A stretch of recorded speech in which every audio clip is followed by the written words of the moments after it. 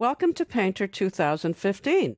When you launch the program, you'll be greeted with a welcome screen that has three sections.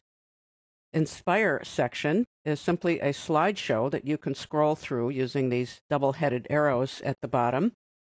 You'll see different kinds of artwork by different painter masters, a variety of techniques and styles, and subject matter. The Create section will give you an opportunity to see what's new in Painter. You can create a new image, open an existing image. Down here, you can choose your custom workspace so that the desktop suits the way you want to work. And what I'd like to show you now is brush tracking.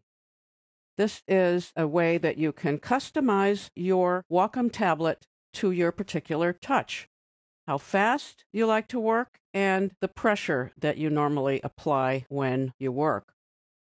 Draw a brushstroke that's typical for the way you draw. You'll find that the curve over here on the right will accommodate to your stroke. If I have a very light touch, for example, that's the result. If I work very fast, then this happens. Here's a typical brushstroke for me. It's kind of fast and heavy pressure. So I'm happy with that, and I'm going to click OK. Painter will remember that when I launch the program again. You can also change it if you wish to work in a different style. Let's open a new canvas. So we'll go to File, New, Width and Height, 900 pixels wide and 600 high. That's not the default. It's something that I've already used before. You don't have to use pixels. Here are other choices for units. You can choose a different color than white for your paper. If you tap on that swatch, you'll find that you can go around this color wheel and you can make things lighter and darker. I will cancel that because white is just fine. I can also choose a different paper texture from among these items in my paper library, but once again, I'll accept the default. I am given the opportunity to work with this nice, fresh white canvas. The core of Painter is the brushes. Brushes is a term used by Painter in a generic way to refer to any of the mark making tools. They are arranged in categories here on the left acrylics, charcoal, Conte, felt pens, and so on. When you choose a category, and I'll choose chalk, as you scroll or hover over each of the specific items in the right hand side of this panel, these are the variants, the very specific chalks in this case, which are going to behave in a different way or be a different size or shape. Notice at the bottom you'll see a stroke preview, and to the left of that, a dab preview or the footprint of the brush. I'll choose square chalk 35. 35 refers to the pixel size of the brush.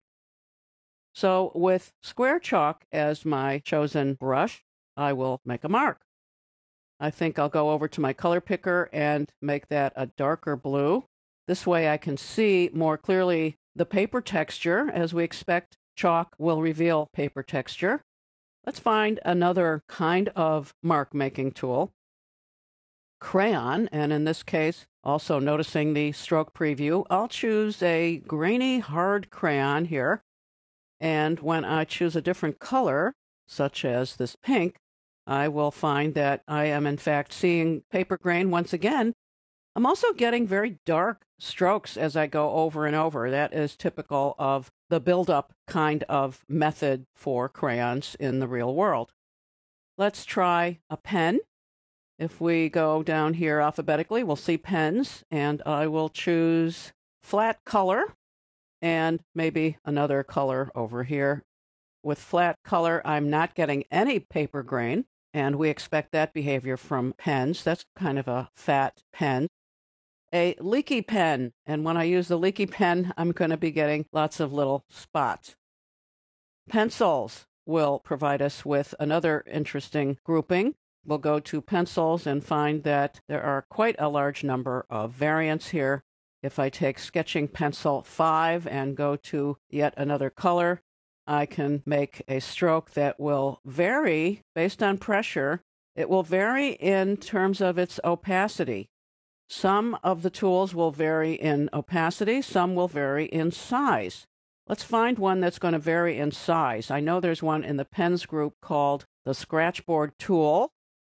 And if I have light pressure, I get a thin line. Heavier pressure gives me a fatter line. I invite you to experiment by simply finding a variety of categories and variants and making some marks on a blank canvas. In the next movie, we will explore more of these brushes and look at ways that we can organize them and manage them.